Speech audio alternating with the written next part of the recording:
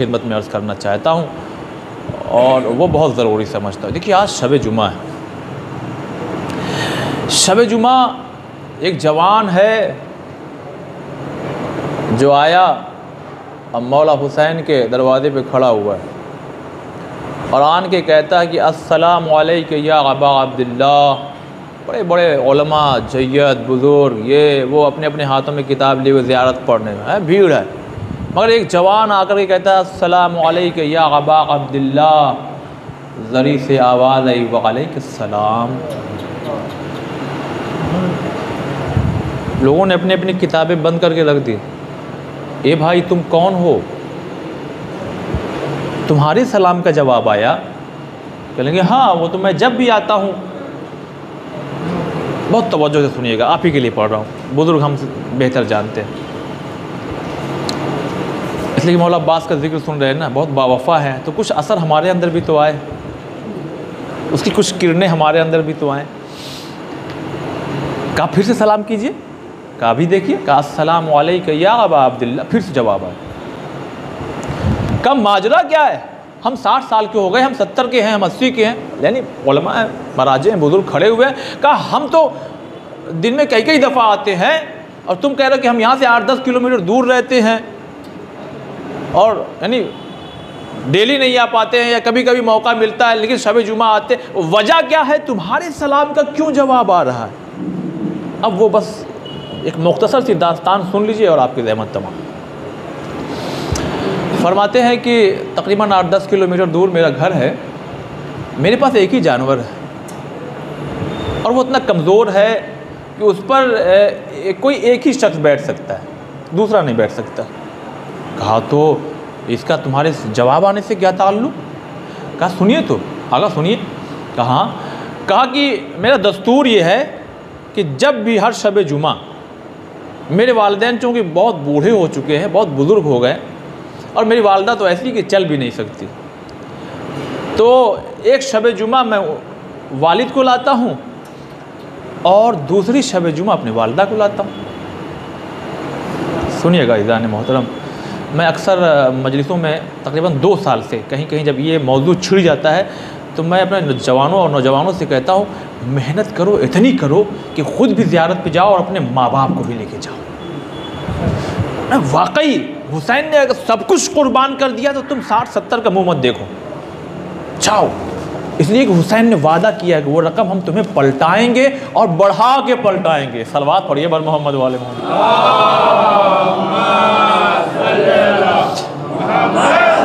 बहुत मैं, देखिए, मैं यकीन करता हूँ, बहुत रूहानी मजलिस आज की जो है।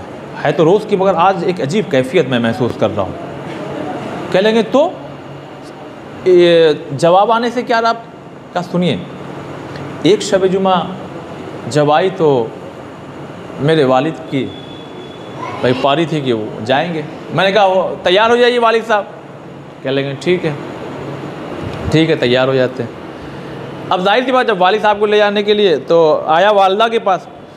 कह लेंगे, अम्मा, जा रहे हैं वो वालिद साहब को ज़्यारत करा के, आते हैं इन कह लेंगे, ये बेटा, देखिए, अपनी ज़बान में समझाने के लिए, अब जिस लैंग्वेज में, जिस अंदाज में वो बूढ़ी औरत ने कहा मुझे नहीं मालूम, मैं अपनी अंदाज में अपने बच्चों को, अपने भाइयों को समझाने के लिए कह रहा हूँ।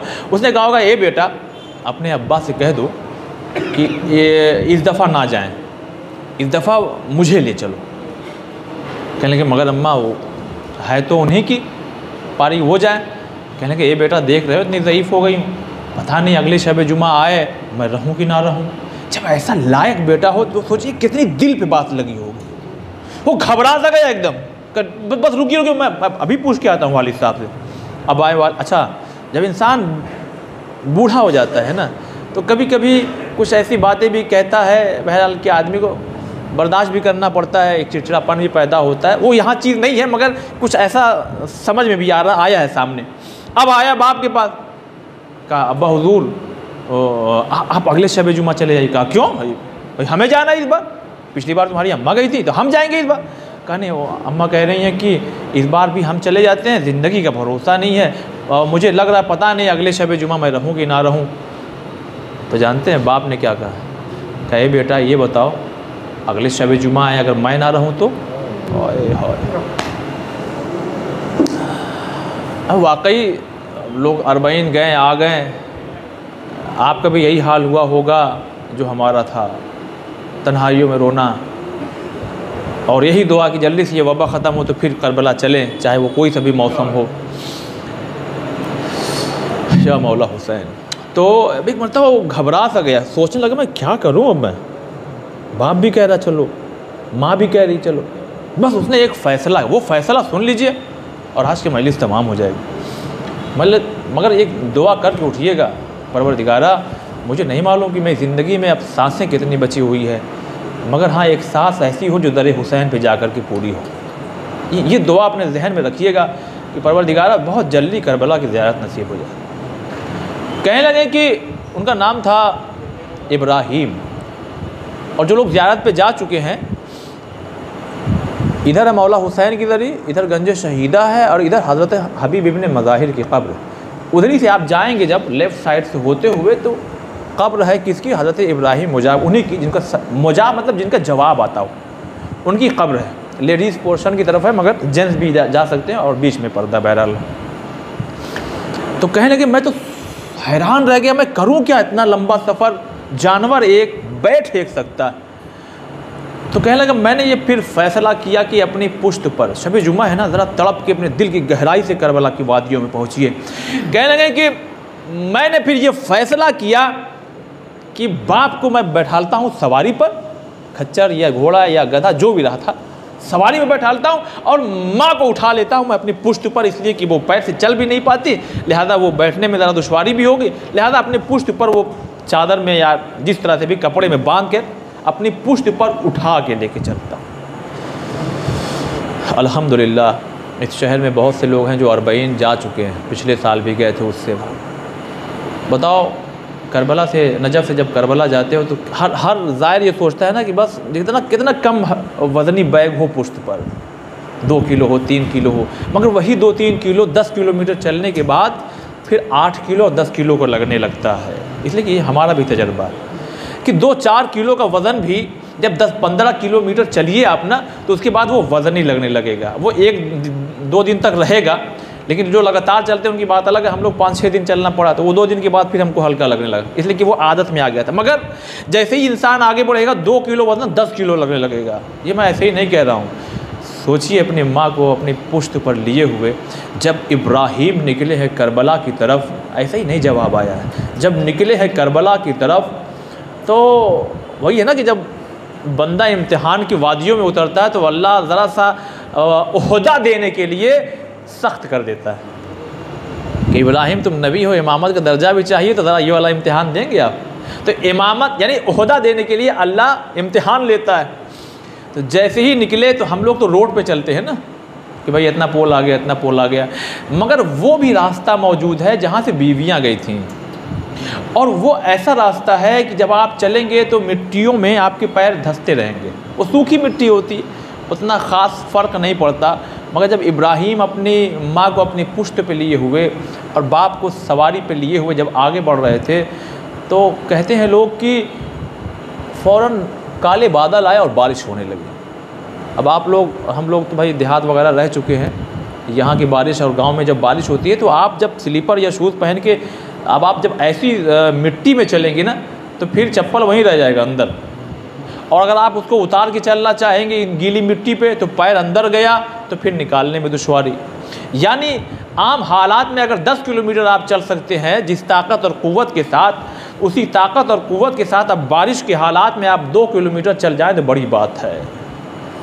इब्राहिम कहते हैं कि मैं हार नहीं माना मैंने। उसी मिट्टी, उसी गीली मिट्टी में पैर जाता था, निकालता था। माँ को पुष्ट पे लिए हुए, बाप को अपने खच्चर पे सवार किए हुए। दूर से बहुत पहले की बात है ना, दूर से देखा कि मौला तो रोज़ा नज़र आ रहा। जब रोज़ा नज़र आया तो मैंने ये सोच करके माँ को उतारने लगा, चलो अब ज़रा पहले आराम कर लें, उसके बाद चलेंगे मौला की कब्र पे।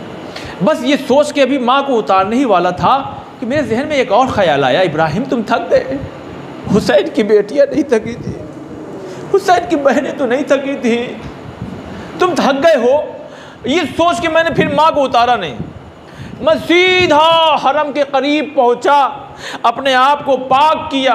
पैर भाई, ज़ाहिर बात, बारिश हो रही थी। अपने पैर को पाक साफ़ किया और माँ बाप को लेके हरम में जैसे ही दाखिल हुआ, एक अजीब दर्द, एक अजीब कैफियत, एक थकान के साथ मैंने कहा अबा अब्दुल्ला ए लोगों, उसी दिन से मेरे सलाम का जवाब आने लगा। बस इस वाक़े को सुनाने का मकसद आज एक तो शब जुमा, दूसरे ये कि हाँ करबला जाने की एक हसरत दिल में रखो, करबला जाने की ख्वाहिश दिल में रखो। इसलिए कि हम आज भी जाते, सलाम करते हैं ये हमारे गुनाहों की वजह से हमारे कान पे पर्दे पड़े हुए हैं जो मौला हुसैन के जवाब सुनाई नहीं देता, वरना वो जवाब ज़रूर देते हैं। वो इंतज़ार करते मेरा ज़ाहिर आ रहा है, मेरा ज़ाहिर आ रहा है। कैसे इस्तबाल मौला अब्बास करते ये कल आपकी खिदमत में। मगर आज चूँकि शब शहादत भी है, जनाब फ़ातिमा कुम के लिहाजा चंद जुमले, और बस पाँच मिनट में मजलिस तमाम हो जाएगी। अदादार ने मजलूम में करबला तारीख़ में तीन बहनें हैं जिन्होंने अपने भाई के साथ साथ चलना चाहा है। एक जनाब मूसा की बहन है कि जब संदूक में डाल दिया माने तो बहन पीछे पीछे चले। एक हुसैन है कि जिसके पीछे पीछे जैनब चली।